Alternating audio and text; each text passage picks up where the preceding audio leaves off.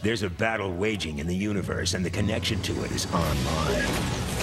Neo shifters have landed with battle pods. The Paladins are prepared to defend the planet. But the Templars will summon their quad pods to destroy them. Defend with microwave, dislodging. Disc launching.